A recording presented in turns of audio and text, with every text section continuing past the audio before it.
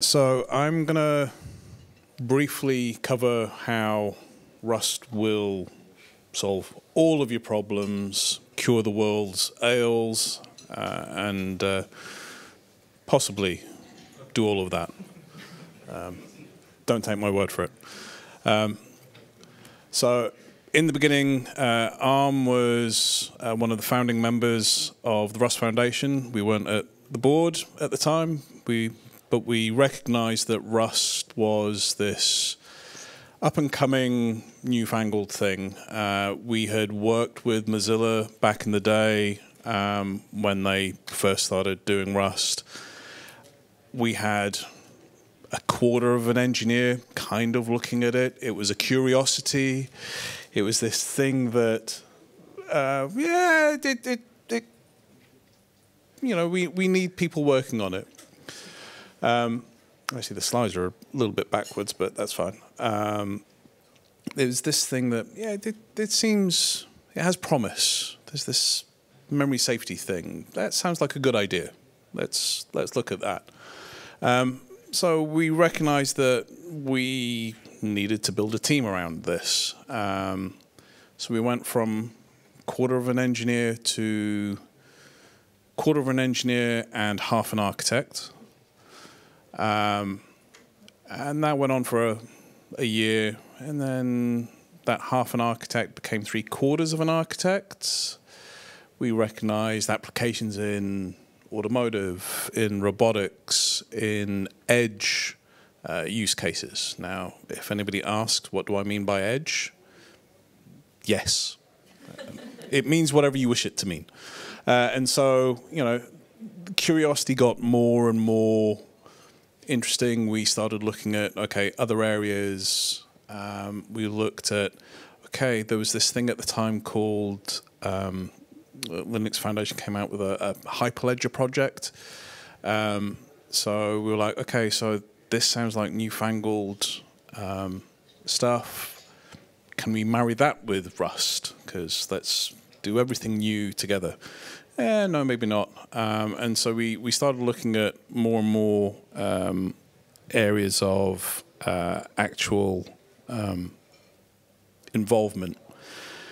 Uh, and so a lot of our work was done on core architectural enablement, uh, ensuring that uh, the ARM architecture was well supported, both uh, well, primarily 64-bit, uh, as that's our main focus, but also recognizing that in some of those edge slash automotive embedded use cases, 32-bit is still alive and, and well. Uh, so looking at, okay, how do we enable ensuring that all the latest architectural features coming out of ARM is supported in Rust in the same way that we're doing it with Go, with Java, um, etc. Uh, and so we started doing a lot of that core enablement work. Our team started to grow. Uh, we went from uh, you know three quarters of an architect to a whole architect and a whole engineer all of a sudden. Wow, great! we've actually got a team, um, and that team grew. We ended up having two full-time engineers working on Rust, uh, and uh, ensuring that all the enablement was there. We then went on to going, okay, right, so things works right? You can run Rust. By this time, you know the foundation is out, uh, and you know the you could easily um, install Rust and, and bring up Rust on you know ARM architecture, and it was no issues. So we started looking at what else do we do after core enablement? Performance how do we ensure that Rust is a performant language on the ARM architecture? It's not going to run slow. It's going to leverage all the features, implement them correctly, efficiently, uh, and ensure that the core ARM benefit of that low power, high performance compute aspect uh, is still maintained.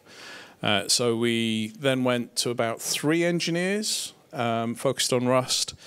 Um, all of that was uh, all being done in the upstream. Great. Job done. We can go home. Marvelous. Uh, we then had partners going, yeah, it's great. So this Rust thing, we're really interested in it. We want to use it in core products, you know, things that actually brings in money not only to our partners but also to us because it means that they then buy more licenses from us to create more chips, etc. So, okay, yeah, let's see uh, where we go. Uh, and so, one of the first um, big projects that ARM released uh, to the open source world is trusted firmware. Uh, trusted firmware is uh, a piece of firmware that runs on pretty much every single ARM device. Uh, so if you've got a phone, a tablet, uh, a car, a computer, whatever it might be, um, you know, AWS instances running Graviton, um, you know, Google's Axion, Microsoft's Cobalt, um, all of that, it's all running trusted firmware.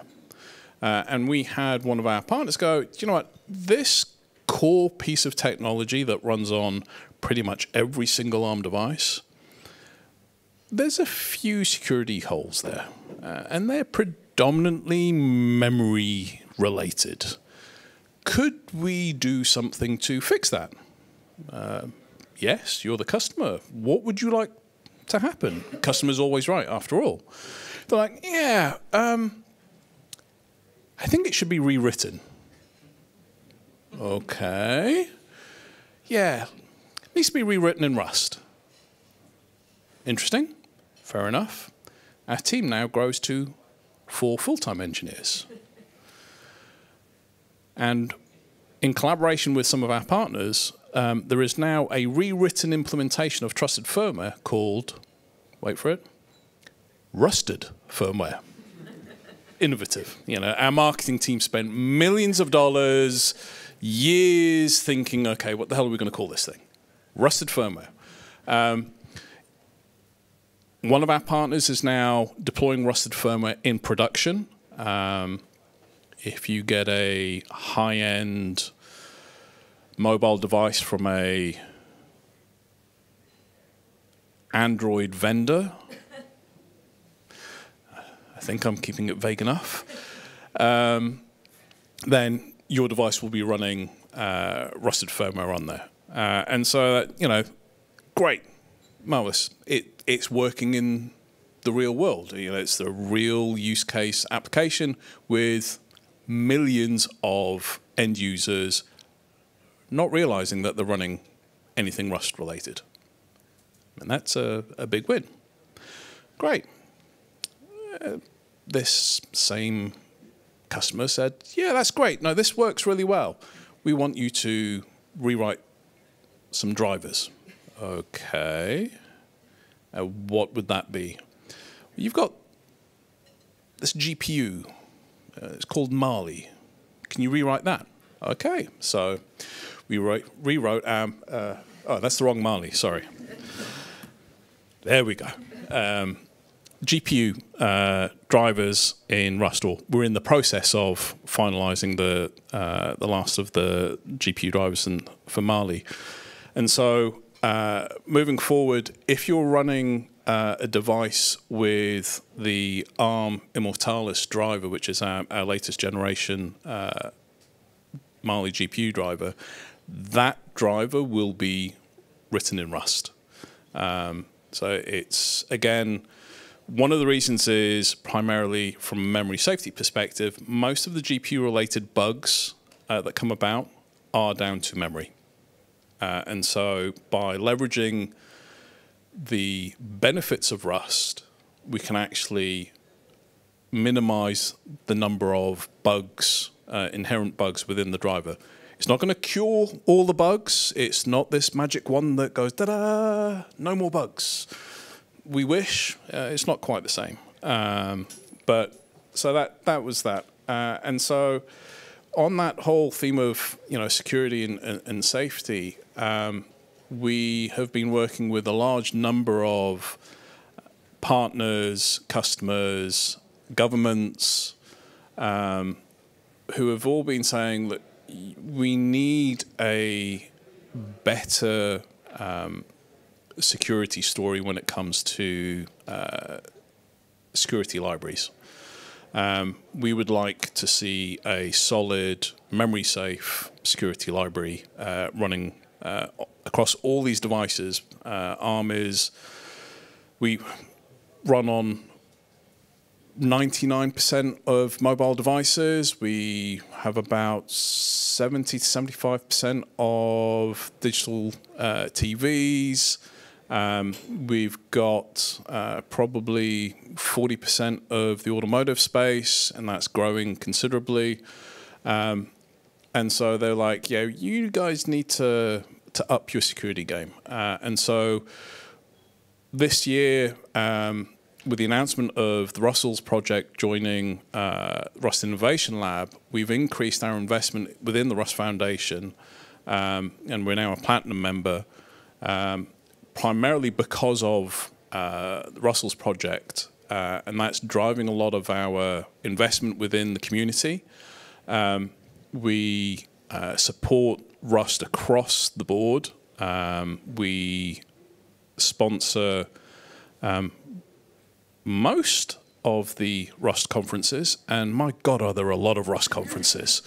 Um, best one is RustConf, but that's beside the point. The uh, so it, we invest within the Rust community to ensure that the project has a safe, secure space to meet.